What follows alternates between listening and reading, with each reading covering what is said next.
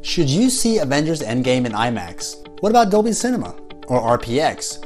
Or some of the other formats out there? Is it worth paying the price of admission for an IMAX viewing of Endgame? All of these and more answered coming up.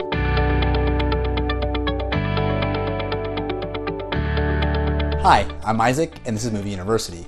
On this channel, I do educational videos like this one, so if you'd like what you see today, consider subscribing. It's been two years since I released my explanation of IMAX. In that time, a plethora of movies have been released and new technologies have come out for the general public, at home and in cinemas. Let's go over three questions I keep getting about seeing Avengers Endgame. Number one, YouTube user S. Mephalia asked if Avengers Endgame is shot with digital IMAX cameras. Yes, Endgame and Infinity War were both entirely shot on the recently created Arri Alexa 65 IMAX approved digital camera and not on the traditional IMAX film.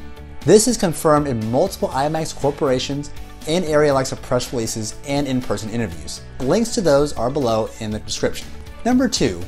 Why did the directors choose digital IMAX cameras versus traditional IMAX film cameras? Simply put, the older film IMAX cameras are hard to work with. Christopher Nolan is well known to use traditional IMAX technology. The picture is absolutely gorgeous with unparalleled resolution at around 18,000 lines of resolution on a real IMAX screen. However, with that level of detail comes problems. IMAX film cameras weigh around 240 pounds. With that kind of weight comes the need for special supports and rigging to move the cameras around. A typical camera used on a Hollywood set weighs less than 50 pounds.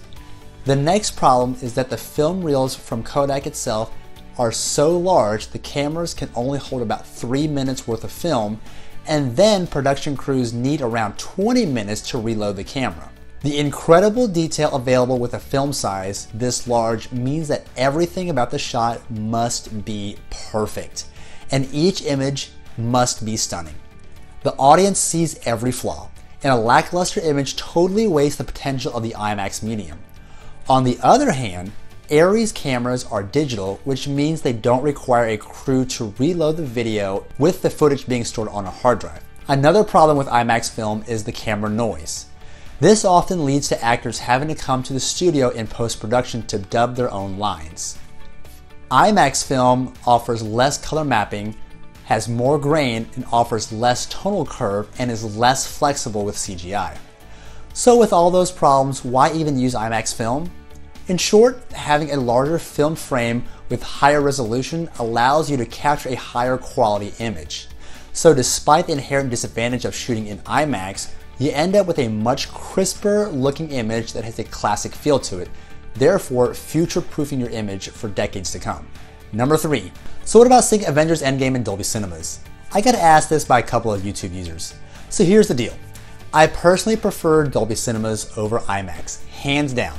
I think Dolby Cinemas are better, cleaner, comfier, and offer better sound. Not to mention every movie I've seen in IMAX has the volume pumped up way too high. If you want to see my explanation of what Dolby Cinemas is, check out my video on it in the description below. For Avengers Endgame though, I'm going to recommend IMAX. The reason is, whether you see it in a real IMAX or a LieMAX, IMAX has always touted a different size screen. What makes IMAX screens unique is the taller size of them. Even the fake IMAX screens are taller than compared to a traditional theater.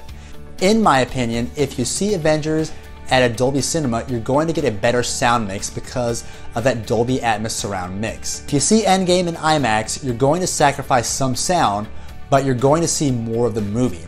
Let's say for the sake of argument that Dolby, Regal, Cinemark, or whoever else has built their screens the same size as IMAX. You don't really think IMAX is going to allow distribution of that same movie to those chains, do you? What would be the point of seeing see it in IMAX then? Why would you give your competition the same edge that you have? Is it worth paying a higher price of admission to see 26% more footage? I think for this movie, yes.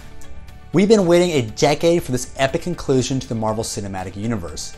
To see the movie as the directors intended you to see it, I think it's worth it.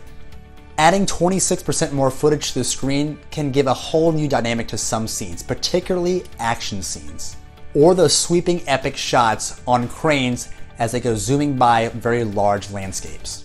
Be sure to tell me the format you plan on seeing Avengers Endgame in in the comments section below, and be sure to subscribe on your way out.